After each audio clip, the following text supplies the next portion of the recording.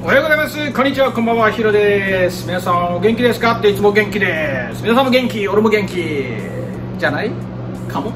でも元気です。はい。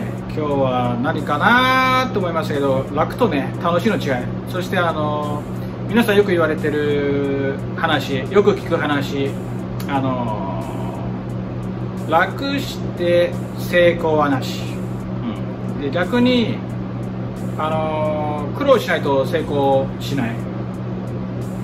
あこれ2つ一緒の意味ね。楽して成功する、うん、これ全部ね全部ですよ。全部。当てはまるようで当てはまらないような感じもするんですよね、うん、何が言いたいかって一番楽最後のやつね、うん、楽して成功するっていうやつ。周りがねあの人楽して成功してるように見えるねっていうことでも逆はねあのすごい本当はねその本人がね全然ね周りから見たら苦労してるのかもしれない。でもその本人がどうして楽に見えるかっていうのはその本人が苦労を苦労と思ってないってところです。そこがねあのー、多分皆さんが楽に成功してるねって思うとこなんじゃないですかね。どんだけあのなんかあのー、なんだろうかな労力を使ってなくて頭で使ってる人もいるじゃないですか。頭の中はみんな見えないじゃないですか。それですごいこの人はすごい頭を使ってね成功してる人もいる。んでもともと成功ってのは何なんでしょうっていう。そこまで突き詰めちゃうと人それぞれみんな違うので成功も幸せも。成功とイコール幸せかっていうのもまたそれも違ってきますよね。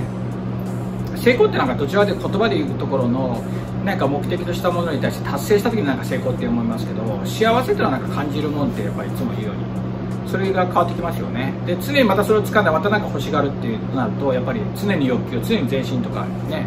そこを結構今しめでずっと常にずっとずっと欲しがってもダメじゃないっていうのもありますがまたそれはでも欲する自分だったらそれ素直にねいけばいいなと思うんですよね。はい。もう欲する自分がそれだったらもうその人のそれが個性なのでいっちゃいましょう。いっちゃいましょう、はい、逆にもう欲しがらないっていう人の人もその個性なので行かないときましょう。行かないときましょう。でもねこれどっちも一つ今2つ違うように見えるんですけどどっちも言ってるんですよ。はい。それは何かと言いますと自分らしく言っちゃってるんですね。はい。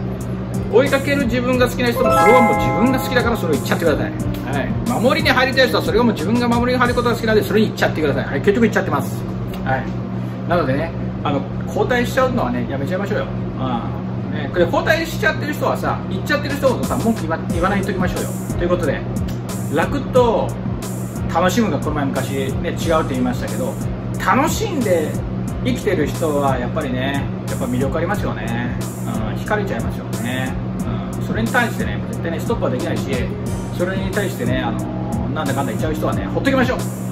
ほっときましょう、はい、応援する人を集めましょう。で自分も応援する側になりましょう、はい、もし自分ができなかったとしても応援しましょう。それがいいじゃないですか。ね。そこです。はい。今日は短めでした。では長いご視聴ありがとうございます。長いご視聴ありがとうございました多分ね弱3分ぐらいなんですけどね。はいまたそれではコメントをよろしければ。